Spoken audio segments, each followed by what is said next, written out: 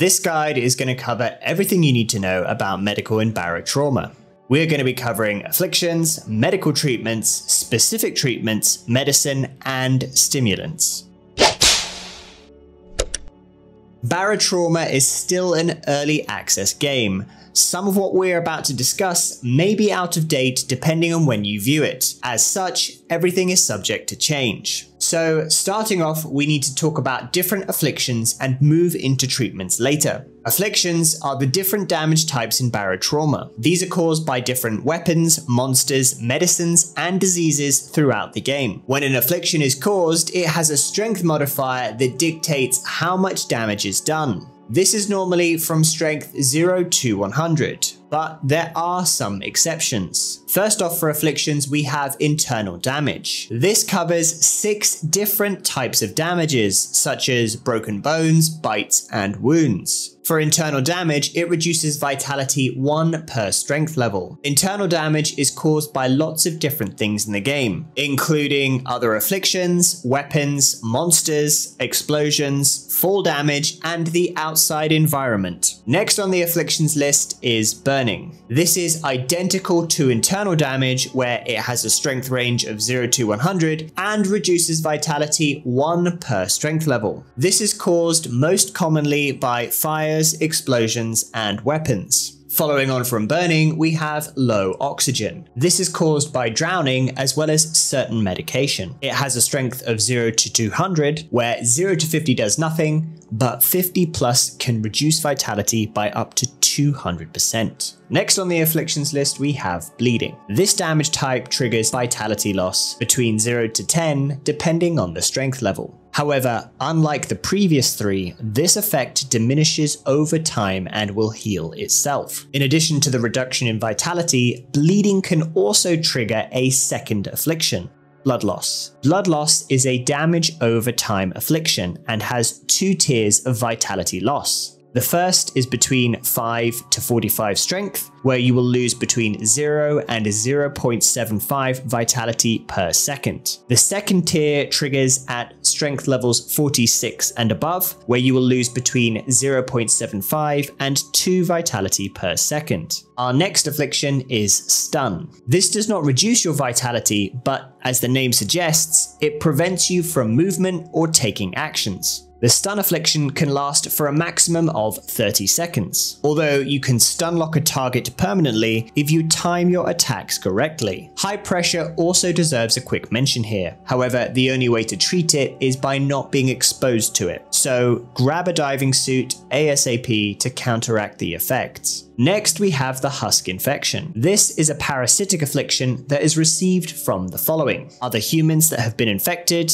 from husk monsters, and there is also a chemical that can be used to inject players with the husk infection. The husk infection is commonly found on salvage wreck missions although I have experienced husk monsters leaving their wreck and attempting to board my submarine. Once you have the husk infection, you will begin to lose control of your character. This is until it takes full control of the body. Then it will begin to attack other players in an attempt to infect them and spread the parasitic infection. The husk infection grows in strength every 0.3 seconds, meaning at maximum you will have about 5.5 minutes before it takes over. Notably on this one, you will be unable to chat or use the radio at some point after the two and a half minute mark, and you are unaware that you yourself have the husk infection for at least the first two and a half minutes. Next, we have nausea. This will stun your character for up to 1.7 seconds and see them visibly vomit onto the submarine. Nausea has a strength of 0 to 100. This causes organ damage of 0.5 for each vomit and if left alone, decays by itself for one strength every second. Next, we have psychosis, which is a very interesting affliction. Whilst this does not do any form of damage, you will experience imaginary fires, floods, and sounds, which can seriously disrupt your gameplay as you start to run around looking for a fire extinguisher to an imaginary fire. Psychosis is caused by using other medicines and chemicals in the game, which will increase increase its strength to a maximum of 100. This affliction will decay by 0.1 per second if left alone. Next, we have afflictions caused by opiate overusage. We will cover overhealing later on in this video, but essentially this meta affliction is caused by opiate usage. These are the same opiates that are used to heal you from other afflictions. There are three stages, each with multiple tiers and effects. Starting off with opiate withdrawal, it can reduce vitality from 0 to 200 depending on its strength, and can cause nausea of strength 30. But if left alone, it will decay at a maximum of 0.2 strength per second. Following on from that, we have opiate addiction. At strength levels below 80, this will increase opiate withdrawal by 0.25 strength per second. And above strength 80, it will reduce vitality by up to 20 strength points, and add an opiate withdrawal of 0.5 strength per second. This will decay on its own by a maximum of 0.1 per second. For the final affliction here, we have overdose. Below strength 50, the user experiences slight screen distortion, and above 50, it will reduce vitality up to 200 and reduce speed by 50%. Left alone, this one will decay at a strength level of 0.5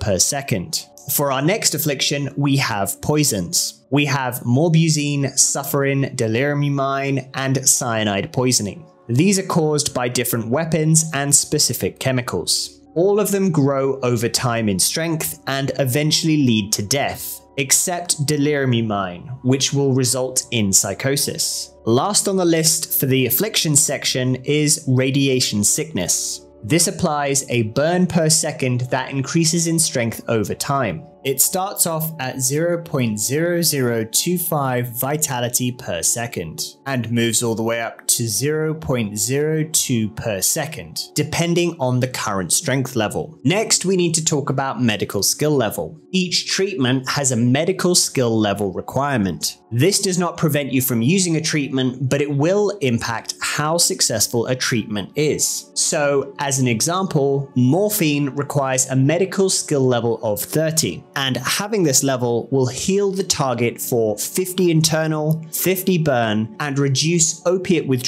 by 30. On the negative side, it will increase the low oxygen affliction by strength 20. It will add 5 strength to opiate addiction and 10 to opiate overdose. But using morphine with medical skill level below 30 will cause the following. It will only heal the target for 25 internal and 25 burn, but the opiate withdrawal is still the same for 30. It will also increase the low oxygen affliction by strength 30, opiate addiction by 25, and opiate overdose by strength 20. So there are large changes in the effects of medication based on your current skill level. Next, on to treatments. Rather than explaining each treatment and all its cures for each affliction, instead, what I'm going to do is give a rundown of common treatments and some special cases. For general healing, we are going to be looking at bandages, opiates, and liquid packs. Starting off, we have two types of bandages, Plastiseal and the regular bandage. These mostly treat bleeding and burning afflictions, with the Plastiseal variant healing more. Next, we're looking at opiates. This covers opium, morphine, and fentanyl, and their respective cure strengths are listed in that order. If you have a character that has low vitality, any of the opiates just listed will probably help you out. These will be your go-to healing solutions for most afflictions in the game. There is also the pomegranate, but honestly speaking, its cure strength is just too low.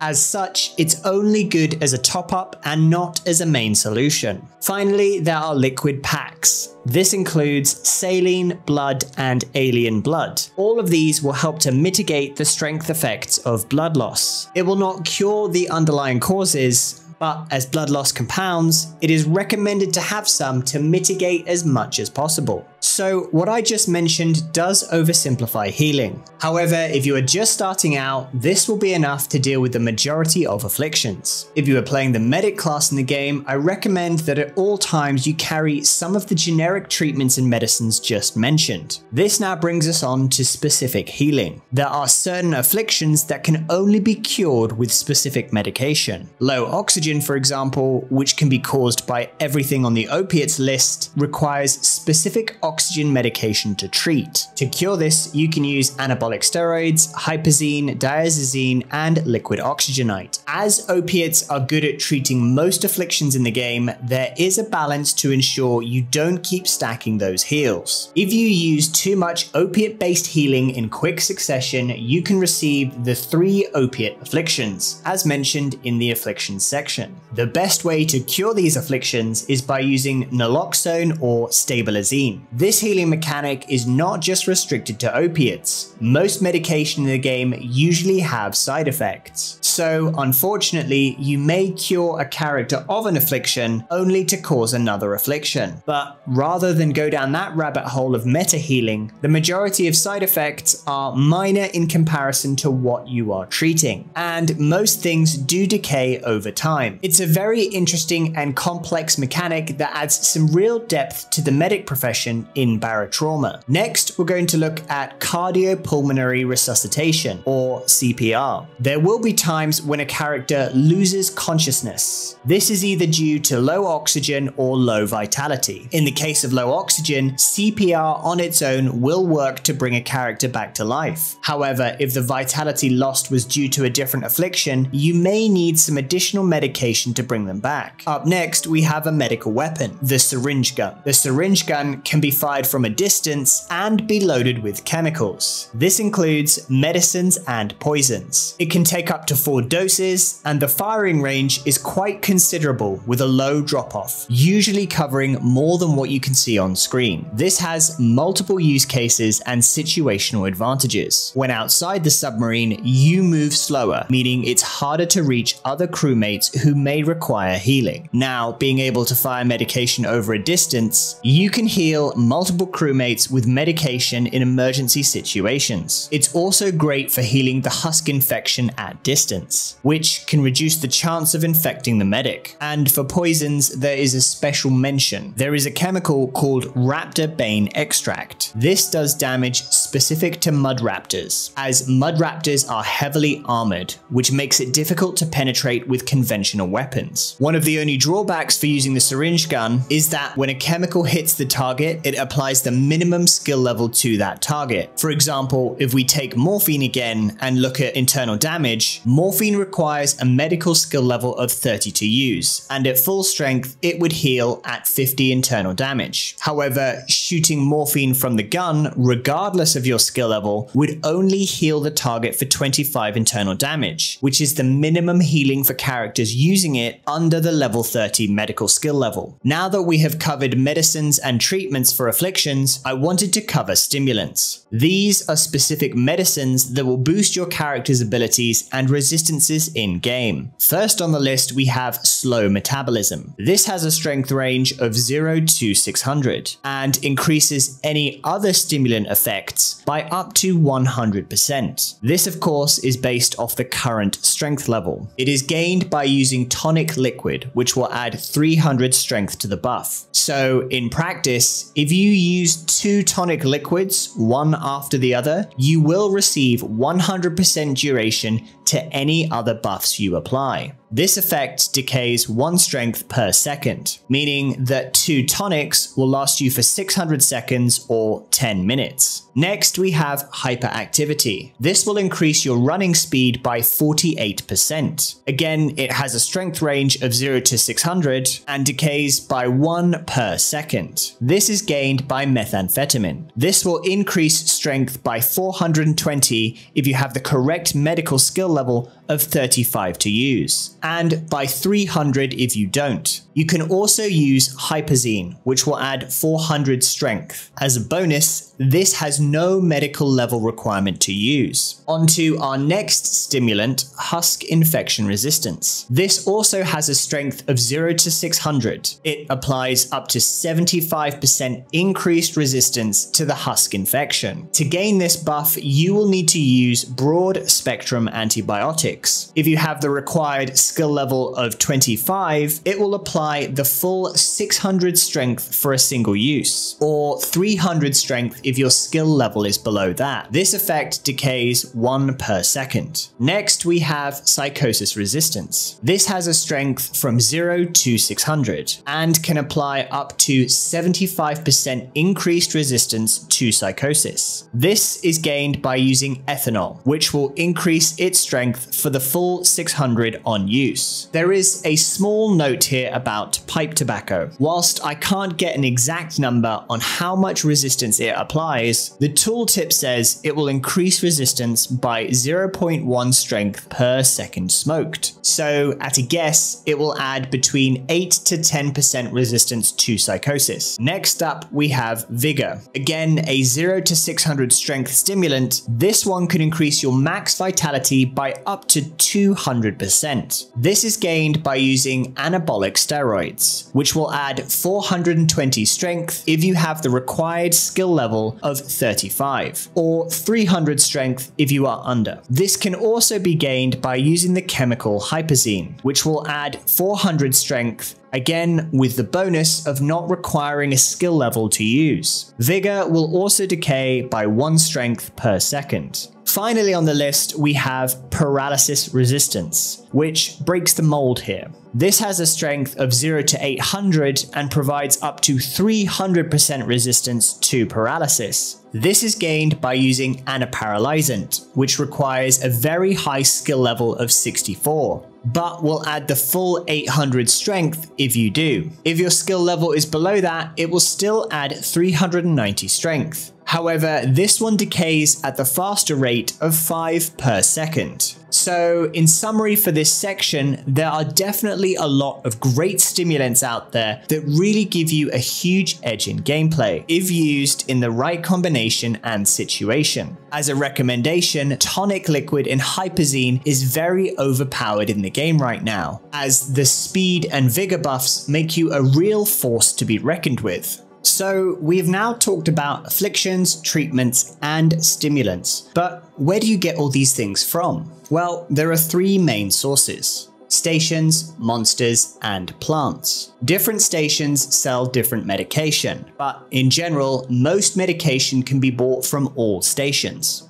Although, if your entire crew gets the husk infection or radiation poisoning, it can be very difficult to have enough specific medication to treat everyone on board. For the second method, all you have to do is loot the various monsters you come across in Barotrauma. Crawlers, hammerheads, and eggs are the best source of alien blood, saline, and swim bladders. And you can get adrenaline glands from thalami found on shipwrecks. The final method of gathering medication is similar to mining ores. Plants can be found outside the submarines, along the ocean floors, and inside caves. They do not require a plasma cutter to harvest, just right click and gather. These plants will need to be deconstructed to get the base resources for use in different medical applications. Once you have all your base medical resources, you can use the medical fabricator to combine and make the different medicines and chemicals you will need on your journey. That covers all the medical specific items. There is, however, two special mentions I would like to share. Compound N and Volatile Compound N, which are both craftable from the medical fabricator, are in fact explosives. These deal a huge amount of damage 150 structural, 200 burning, 50 laceration, and can stun a target for up to 5 seconds. They have an explosive radius of 6 meters, and the volatile version will explode on its own as it decays over time. These can be loaded into depth charge shells and railgun shells to add extra damage on impact. Whilst these aren't necessarily cheaper than other explosives, they are an alternative and can be bought at stations, so are a good mix when you need as much firepower as possible. So, in closing, there are a few things I specifically left out. This includes being drunk, paralysis, and hallucinating. The final thing I wanted to showcase was a little known mechanic of self healing. The expression sleep it off does play a role for healing in the game. If you sleep on a bed, you will heal 0.05 vitality per second without the need for medication. Specifically, you can heal internal damage, blood loss, bleeding, nausea, opiate withdrawal, opiate addiction, and being drunk. Hopefully now you have a better understanding of how damage effects and healing work in the game. I have left links in the description below for the specific Barotrauma wiki sections if you'd like to know more. Let me know what you thought in the comments below. If you enjoyed this video, be sure to leave a like. If you want to see more from me, hit that subscribe button. And until next time, peace. Na, na, na.